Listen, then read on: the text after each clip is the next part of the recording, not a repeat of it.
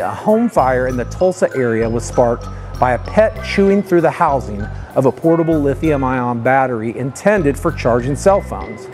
Many individuals keep these batteries within their homes for convenience, unaware of the potential dangers they pose. Fortunately, the pets involved were able to escape unharmed through a dog door. However, the outcome could have been much worse if there had been no means of escape or if the family was asleep at the time.